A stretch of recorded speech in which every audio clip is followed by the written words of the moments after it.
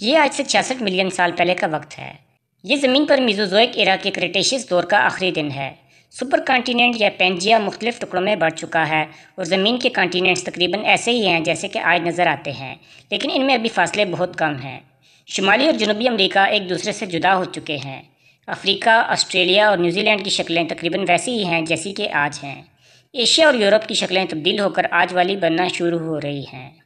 मशरकी Mexico में यूकाटान पेनिसोला में conifers के ऊँचे दरख्तों वाले जंगल में सूरज की रोशनी छनकर इस दलदली ज़मीन तक पहुँच रही है। ये मेक्सिको की खलीज का साइल है। बड़े कीड़ों और डायनासोर्स की आवाज़ों से गूंजते इस जंगल में बसने वाली ज़िंदगी को नहीं पता कि आज क्या होने वाला है। ज़मीन की तरफ़ एक बारह किलोमीटर चौड़ा पत्थर या शुआबिया चालीस हज़ार मील की घंटा की रफ्तार से बढ़ रहा है। इस पत्थर की सामत माउंट एवरेस्ट से भी बड़ी है। ज़मीनी मखलूक जिनमें गलत तादाद डायनासोर्स की है, इस अनजानी आफत से बेखबर मज़े से घूम फिर रहे हैं। अगर इनको मालूम भी हो जाए तो वो इस नागहानी आफत को टाल नहीं सकते। देखते ही देखते ये अजीम शुआबिया ज़मीनी फ़िज़ा में दाखिल हो गया। फ़िज़ा में पहुँचते ही हवा की रगड़ से इसका दर्जा हरारत कई हज़ार डिग्री सेंटीग्रेड तक बढ़ गया है, जिसकी वजह से ज़मीन के करीब पहुँच कर टकराने से पहले ही इसके आसपास का हज़ारों किलोमीटर तक फैला इलाका जलकर खाकस्तर हो जाता है। जैसे ये शुआबिया ज़मीन से टकराता है तो एक ज़बरदस्त धमाका होता है। ये ऐसा ज़बरदस्त सादम है जो एक लाख खरब टन बारूद के फटने जैसा है। ये ज़मीन पर डायनासोर्स का आखिरी दिन था। ये पहाड़ के साइज़ का पत्थर कई मील तक अंदर धंस गया और इस तसादम ने ज़मीन के सतह में मीलों, गहरा और 115 मील चौड़ा गड़ा बना दिया। कई मुरबा मील दूर चट्टाने धुआँ बन गईं। इस तसादम से ज़मीन पर एक बहुत बड़ा गड़ा या क्रेटर बन गया, जो आजकल मेक्सिको के गाँव चकशलब में मौजूद है। इसके बाद क्या हुआ? माहरीन ने इसका एक बड़ा तफसीली मॉडल तैयार किया है। इससे बनने वाले ब्लास्ट वेव ने एक हज़ार किलोमीटर के दायरे में रहने वाली ज़िंदगी को कुछ सेकंड्स में ही ख़त्म कर दिया।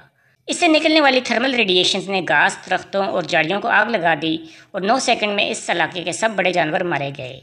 ये आग मुसलसल फैलती चली गई, जिससे दूर के इलाके के जानवर और पौधे भी ख़त्म होते गए। लेकिन आग की मुसीबत ही सिर्फ़ अकेली मुसीबत नहीं थी। इस टकराव की वजह से ग्यारह रेक्टर स्केल का जल्जला पैदा हुआ। ज़मीन की तारीख में इससे कबल इतना बड़ा जल्जला नहीं आया था।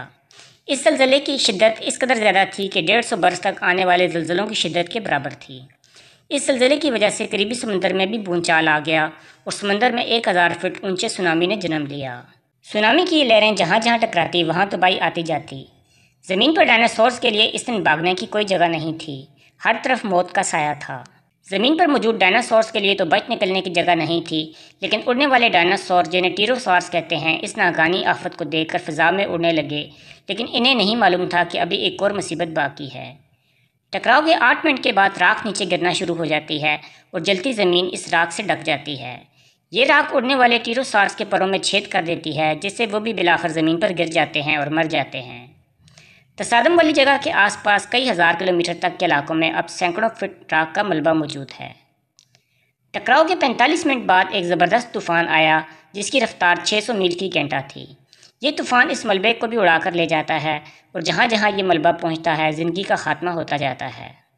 राख और धुएँ के बादलों की वजह से आसमान स्याह हो जाता है और सूरज की रोशनी अब ज़मीन पर नहीं पहुँच पाती।